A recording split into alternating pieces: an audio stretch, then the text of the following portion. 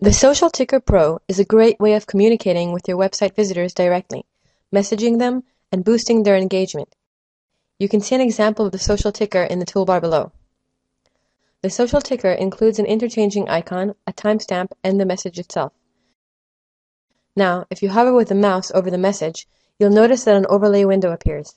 This overlay window consists of a few gems, including a clickable title, the message, the message timestamp, the news source, and of course a social connect button. Depending on the news source, the social connect button may be a Twitter follow button, a Facebook like button, or an RSS feed subscribe button. So, how do you install this new application? Easy. Log into your account and visit the Add Applications page. If you're using a free account, you won't be able to access the Social Ticker Pro. However, you can still use the Social Ticker Lite, which is a little different, but most of the installation process is similar, so you can still watch this video to learn how to use it. To find the application fast, you can simply search for it in the allotted search box.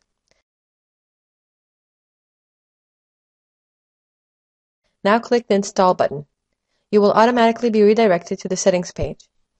Here you can choose your ticker's appearance. Click on the different options to see what they look like in the preview bar below.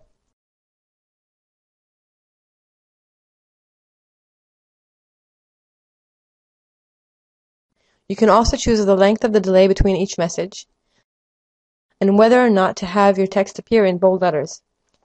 You can also control the width of the ticker on the bar. Make it as long or short as you want. As you move the slider left and right, you can see the change in the preview below. Now you can choose the sources you want to use for your newsfeed. If you're using Social Ticker Lite, you can only choose one of these for your newsfeed. Once you choose a news source, you'll be asked to fill in some details, such as your Twitter account name and whether or not you want to include a timestamp in your message. You can also limit the number of messages shown from each news source and whether or not to open the link in the same window. Choosing to open the links in another window may be a good way of keeping your site visitors around a little longer.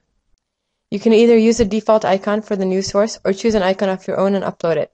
Don't forget to make sure the dimensions are compatible with the toolbar. Once you're done, click the Done button at the bottom. If you're using the Social Ticker Pro, you can add multiple news sources by simply clicking the Add New Source button. Once you're done, save your work and view the ticker on your website toolbar. Goodbye!